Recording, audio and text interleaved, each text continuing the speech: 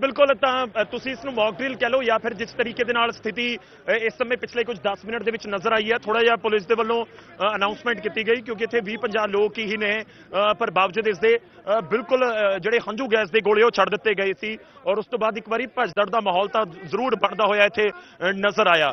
ਉਸ ਤੋਂ ਬਾਅਦ ਦੁਬਾਰਾ ਤੁਸੀਂ ਕਹਿ ਸਕਦੇ ਹੋ ਕਿ ਮੀਡੀਆ ਉਸ ਵਾਲੇ ਪਾਸੇ ਜ਼ਰੂਰ ਪਹੁੰਚੀ ਹੈ, ਪਰ ਹਰਿਆਣਾ ਪੁਲਿਸ ਦੇ ਵੱਲੋਂ ਇਹ ਇੱਕ ਤਰੀਕੇ ਨਾਲ ਮੈਸੇਜ ਦੇਣ ਦੀ ਸ਼ਾਇਦ ਕੋਸ਼ਿਸ਼ ਕੀਤੀ ਜਾ ਰਹੀ ਹੈ। ਜਾਂ ਕੋਸ਼ਿਸ਼ ਕੀਤੀ ਗਈ ਹੈ ਕਿ ਅਮ, ਜਿਸ ਤਰੀਕੇ ਨਾਲ ਤੁਸੀਂ ਫਾਇਰ ਕਰ ਰਹੇ ਹੋ ਅਸੀਂ ਇੱਥੇ ਡਟੇ ਰਹਾਂਗੇ। ਬਹੁਤ ਸਾਰੇ ਲੋਕ ਇੱਥੇ ਜਿਹੜੇ ਸਥਾਨਕ ਲੋਕ ਪਹੁੰਚੇ ਹੋਏ ਨੇ ਔਰ ਹੰਝੂ ਗੈਸ ਦੇ ਗੋਲੇ ਇੱਕ ਵਾਰ ਛੱਡੇ ਗਏ ਨੇ। ਤਾਂ ਮੌਕ ਡਰਿਲ ਤੁਸੀਂ ਕਹਿ ਸਕਦੇ ਹੋ ਪਰ ਜਦੋਂ ਆਮ ਲੋਕਾਂ ਦੇ ਉੱਤੇ ਕਿਉਂਕਿ ਇੱਥੇ ਬਹੁਤ ਸਾਰੀਆਂ ਗੱਡੀਆਂ ਖੜੀਆਂ ਹੋਈਆਂ ਨੇ ਤਾਂ ਮੌਕ ਡਰਿਲ ਤਾਂ ਆਪਾਂ ਕਿਵੇਂ ਕਹਿ ਸਕਦੇ ਹਾਂ? ਡਾਇਰੈਕਟਲੀ ਐਕਸ਼ਨ ਤੁਸੀਂ ਕਹਿ ਸਕਦੇ ਹੋ ਕਿ ਉਹ ਸ਼ੁਰੂ ਹੁੰਦਾ ਹੋਇਆ ਵੀ ਨਜ਼ਰ ਆਇਆ। ਇੱਕ ਵਾਰ ਫਿਰ ਤੋਂ ਤਸਵੀਰਾਂ ਅਸੀਂ ਆਪਣੇ ਦਰਸ਼ਕਾਂ ਤੱਕ ਜ਼ਰੂਰ ਪਹੁੰਚਾ ਦਈਏ। ਮੇਰੇ ਸਹਿਯੋਗੀ ਵਿਨੋਦ ਲਗਾਤਾਰ ਸਾਡੇ ਤੱਕ ਤਸਵੀਰ ਪਹੁੰਚਾ ਰਹੇ ਨੇ ਔਰ ਇਨਫੈਕਟ ਸਾਡੇ ਨਾਲ ਸਾਡੇ ਸਹਿਯੋਗੀ ਯਸ਼ ਤੇ ਅਰਸ਼ ਵੀ ਲਗਾਤਾਰ ਹਰ ਇੱਕ ਇੱਕ ਤਸਵੀਰ ਪਹੁੰਚਾਉਣ ਦੀ ਕੋਸ਼ਿਸ਼ ਕਰ ਰਹੇ ਨੇ।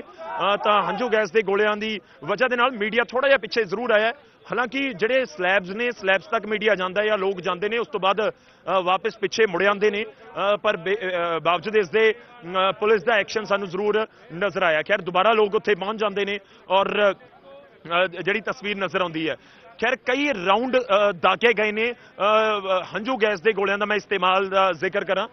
ਕਈ ਰਾਉਂਡ ਕਰੀਬ ਤੁਸੀਂ ਕਹਿ ਸਕਦੇ ਹੋ ਕਿ ਜਦੋਂ ਮੈਂ ਦੇਖ ਰਿਹਾ ਸੀ ਅਸਮਾਨ ਦੇ ਵਿੱਚੋਂ ਹੰਝੂ ਗੈਸ ਦੇ ਜਿਹੜੇ ਟੀਅਰ ਗੈਸ ਉਹਨਾਂ ਨੇ ਫਾਇਰ ਕੀਤੇ ਉੱਡਦੇ ਹੋਏ ਇੱਧਰ ਆਏ ਤਾਂ ਕਰੀਬ ਕਰੀਬ 8 ਤੋਂ 10 ਤਾਂ ਜ਼ਰੂਰ ਸੀਗੇ। ਔਰ ਦੋਵੇਂ ਵਾਲੇ ਪਾਸੇ ਤੋਂ ਦੋਵੇਂ ਪਾਸੇ ਲੋਕ ਮੌਜੂਦ ਸੀ ਔਰ ਦੋਵੇਂ ਵਾਲੇ ਪਾਸੇ ਤੋਂ ਹੰਝੂ ਗੈਸ ਦੇ ਗੋਲੇ ਛੱਡੇ ਗਏ।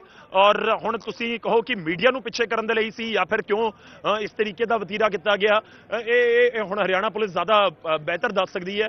ਪਰ ਇੱਕ ਮੈਸੇਜ ਦੇਣ ਦੀ ਕੋਸ਼ਿਸ਼ ਵੀ ਹੁੰਦੀ ਹੈ ਕਿ ਕਿਸ ਤਰੀਕੇ ਨਾਲ ਤਿਆਰੀਆਂ ਨੇ, ਕਿ ਜੇਕਰ ਭੀੜ ਇਕੱਠੀ ਹੁੰਦੀ ਹੈ, ਤਾਂ ਫਿਰ ਉਹਨਾਂ ਨੂੰ ਖਦੇੜਨ ਦੇ ਲਈ ਕਿ ਇਸ ਤਰੀਕੇ ਨਾਲ ਟੀਅਰ ਗੈਸ ਦਾ ਇਸਤੇਮਾਲ ਕੀਤਾ ਜਾਏਗਾ।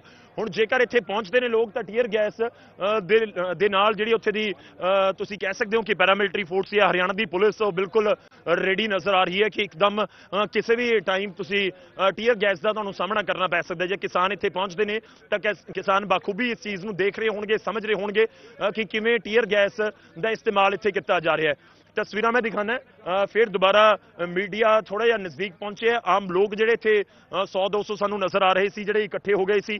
ਉਹ ਲੋਕ ਹੁਣ ਜਾ ਚੁੱਕੇ ਨੇ, ਪਿੱਛੇ ਹੋ ਗਏ ਨੇ ਲੋਕ। ਉਹ, ਉਹਨਾਂ ਨੂੰ ਤਾਂ ਲਾਜ਼ਮੀ ਤੌਰ ਤੇ ਪਿੱਛੇ ਖਦੇੜਨ ਦੇ ਵਿੱਚ ਕਾਮਯਾਬ ਰਹੀ ਹੈ ਹਰਿਆਣਾ ਦੀ ਪੁਲਿਸ।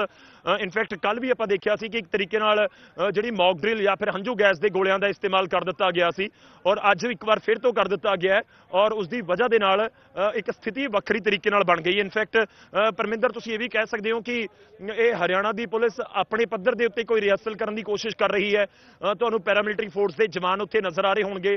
ਫਿਲਹਾਲ ਕੋਈ ਵੀ ਬੈਰੀਕੇਡ ਨੂੰ ਕ੍ਰਾਸ ਕਰਨ ਦੀ ਕੋਸ਼ਿਸ਼ ਨਹੀਂ ਕਰ ਰਿਹਾ। ਬੈਰੀਕੇਡ ਨੂੰ ਕ੍ਰਾਸ ਕਰਕੇ ਕਿਤੇ ਨਹੀਂ ਜਾਣਾ ਕਿਸੇ ਨੇ। ਸਿਰਫ ਸਲੈਬ ਤੱਕ ਲੋਕ ਜਾਂਦੇ ਨੇ। ਇੱਥੇ ਖੜ ਕੇ ਜ਼ਰੂਰ ਕਦੇ ਨਾਅਰੇਬਾਜ਼ੀ ਹੁੰਦੀ ਹੈ ਜਾਂ ਕਦੇ ਕੋਈ ਜੈਕਾਰੇ ਛੱਡ ਦਿੱਤੇ ਜਾਂਦੇ ਨੇ। ਇੱਥੋਂ ਤੱਕ ਹੀ ਫਿਲਹਾਲ ਇਹ ਸਾਰੀ ਸਥਿਤੀ ਸਾਨੂੰ ਨਜ਼ਰ ਆਈ ਹੈ ਜੋ ਅ, ਇੱਥੇ ਅ, ਦਿਖ ਰਿਹਾ ਸੀ। ਪਰ ਜਦੋਂ ਹੰਝੂ ਗੈਸ ਦੇ ਗੋਲਿਆਂ ਦਾ ਇਸਤੇਮਾਲ ਹੋ ਗਿਆ, ਤਾਂ ਆਪਣੇ ਆਪ ਦੇ ਵਿੱਚ ਸਥਿਤੀ ਅਲੱਗ ਹੋ ਜਾਂਦੀ।